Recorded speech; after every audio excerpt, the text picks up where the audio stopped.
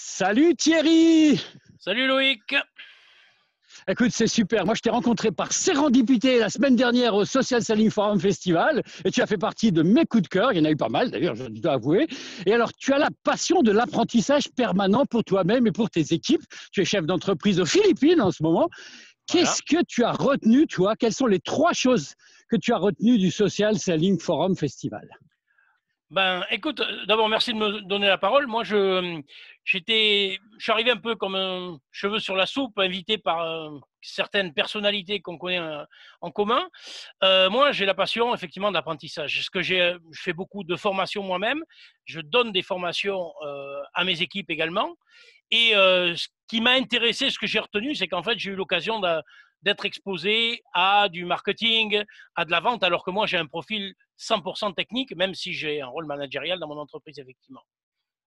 Alors, qu'est-ce que tu as retenu? La première chose que tu as retenue?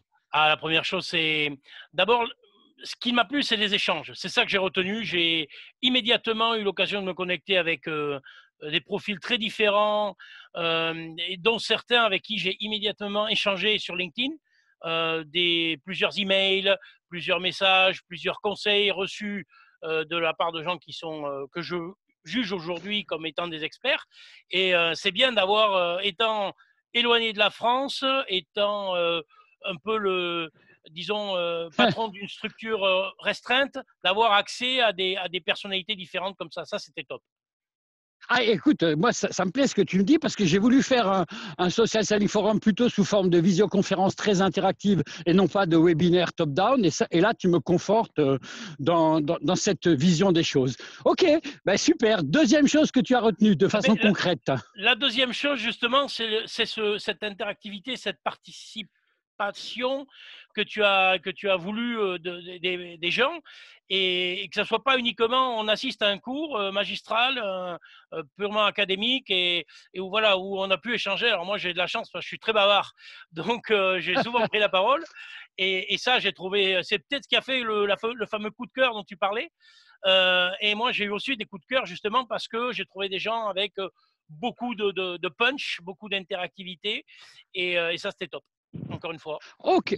Ben ça, ça me plaît aussi, c'est la, droite ligne. Et, alors, la troisième chose, allez, trouve-moi un eh truc concret que tu as retenu. Eh ben, la troisième chose, c'est qu'en fait, euh, je réalise que c'est pas parce qu'on est. Euh, moi, j'ai toujours pensé que le, que le, que le vendeur et le, le marketeur, c'était la même chose.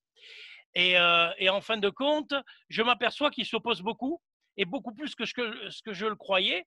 Euh, dans, mes métiers techniques, on dit que euh, entre le, foreur et, ma formation de base, qui est, est la, bout de forage, on s'oppose tout le temps. On est, mais on est comme chien et chat, mais en fait, on ne peut pas vivre l'un sans l'autre. Et j'ai l'impression un peu que c'est ça. J'ai trouvé des, gens avec euh, des approches du marketing très traditionnelles et d'autres beaucoup plus innovantes.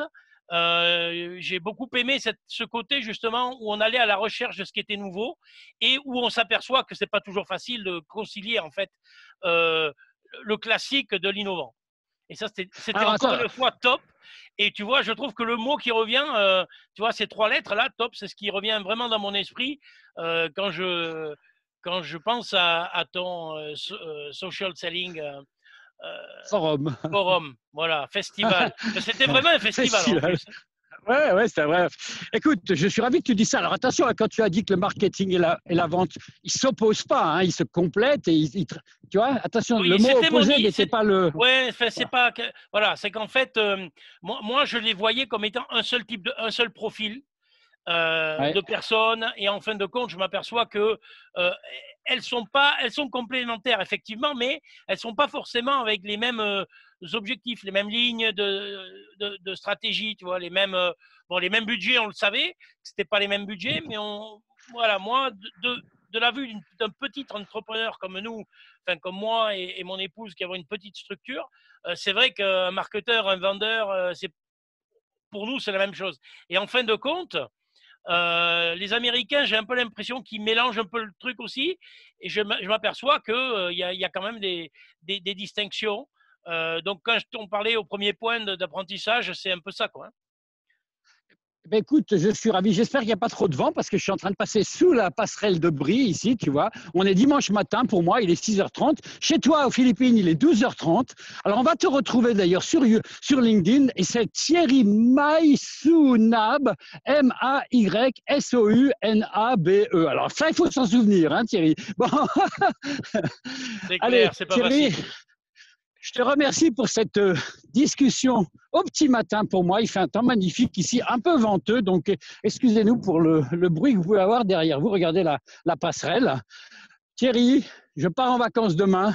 Je suis content de t'avoir découvert, ainsi que quelques autres personnes qui sont venues d'ailleurs pour participer au débat. J'ai trouvé ça génial. Merci beaucoup Thierry. Je t'en prie. bonne journée. bonne fin de journée, bon début de journée plutôt à toi. Salut Loïc. Voilà, et tu peux arrêter l'enregistrement maintenant. Salut, arrête l'enregistrement, comme ça c'est cool. Ciao, ciao.